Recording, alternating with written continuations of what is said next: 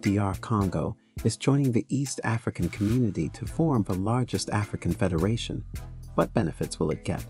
The Democratic Republic of Congo, DRC, is a country in Central Africa. The Democratic Republic of the Congo, as it is officially known, has a 25-mile Atlantic Ocean coastline, but is otherwise landlocked. It is the continent's second biggest country, with Algeria being the largest. Kinshasa, the capital, is about 515 kilometers from the Congo River's mouth. It is the country's official administrative, economic, and cultural center and is Central Africa's largest city.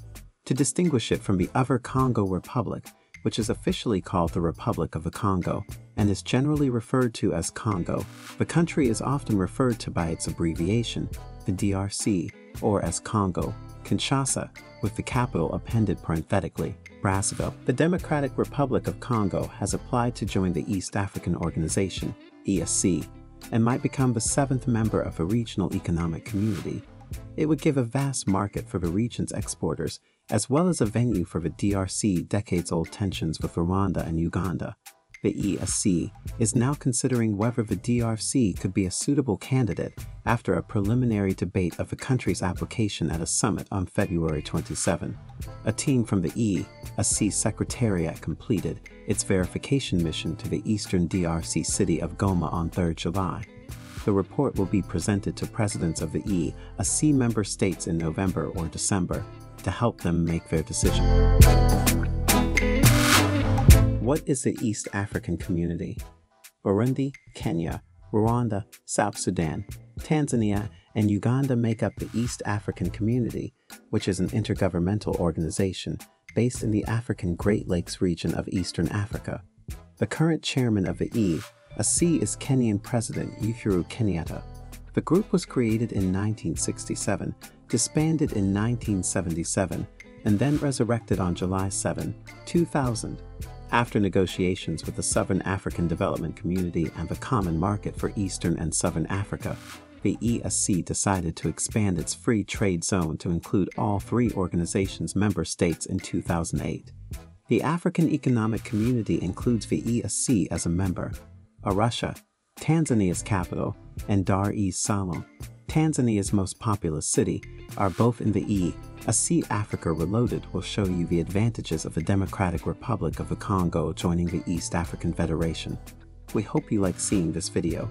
Stay tuned as we learn more about these advantages.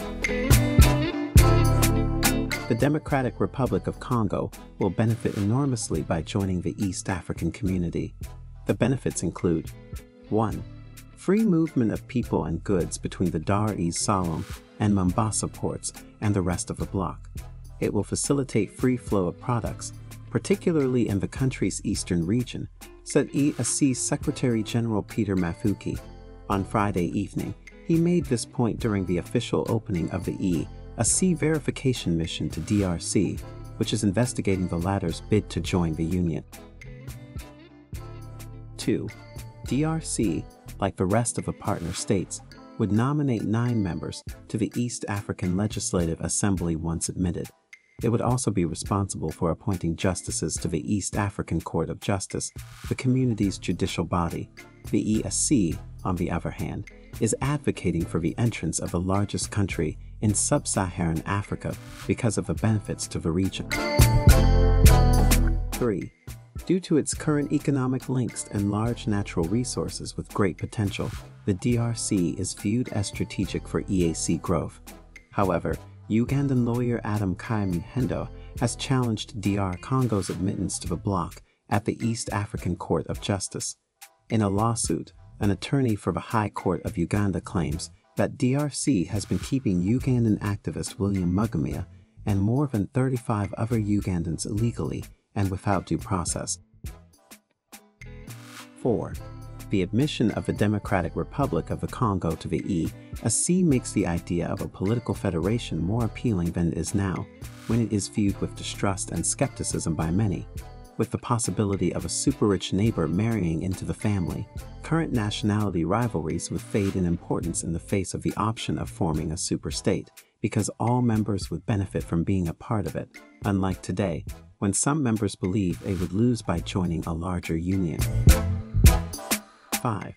The shift would enable the use of some idle resources feasible with no negative consequences for the DRC or the area. A power dam at Inga, for example, would provide 60,000 megawatt of clean, renewable energy and put an end to the discussions and headaches over whether or not to build hydroelectric dams in East Africa. 6. After Tanzania, the DRC, with almost 2.4 million square kilometers, would be the largest country in the E, a C bloc, 947,000 square kilometers. DRC has a population of 86 million people, nearly half of the present E, a C population, while being significantly larger than the combined six E, a C member states. 7. Even the process of evaluating DRC's admittance helps to refocus the community on more noble aims and the work that must be completed in order to achieve them. Squabbling among members is unlikely to inspire Congo's 81.4 million people. They've had enough problems as it is. The trade dispute between Kenya and Tanzania must be settled through mature dialogue if a resource-rich country is to be attracted. 8 multinational corporations, South Africa, and China are among the significant forces active in the Democratic Republic of Congo. This isn't a secret, and it's not necessarily a bad thing. DR Congo would get a better perspective and world vision by joining and working within the East Africa community, from which it could engage with the rest of its international trade partners. When Congo was privately owned by King Leopold of Belgium, the situation was far worse it was subjected to Mobutu Seseko's kleptocratic rule. Things can only improve from here. The EAC is in a good position to assist with this beneficial transformation. 9. The admission of the Democratic Republic of the Congo to the East Africa community makes the idea of a political federation more appealing than it is now, when it is viewed with distrust and skepticism by many. With the possibility of a super rich neighbor marrying into the family, Current nationality rivalries would fade in importance in the face of the option of forming a superstate, because all members would benefit from being a part of it, unlike today, when some members believe they would lose by joining a larger union. 10. The federal model, which has worked so effectively in developed large countries, would allow residents of the superstate to focus on their talents and energies, as current difficulties such as tribes and religions would be more difficult to exploit. The most promising defense against Africa's re-enslavement is the regulated evolution of blocs like the East Africa Community Federation. 11. A coin always has two sides to it. The East Africa community's image is currently bleak, with Rwanda in the chair and tense relations with Uganda and Burundi, the community secretariat in Arusha mired in financial problems, and most member nations failing to pay their obligations on time. However, this is a stage in which the EAC's aspiration to be a regional leader should not be stifled. Admitting Congo sends a strong message of aspiration to the continent and sets greater goals for it. With all of these various advantages listed above, it is clear that not only the DR Congo will gain from the East Africa community, but that the East Africa community will profit from the DR Congo as well. A number of reforms will be implemented that will benefit the African population. We hope you enjoyed watching this video. If you enjoyed it, please like, share, and subscribe to our channel for future updates.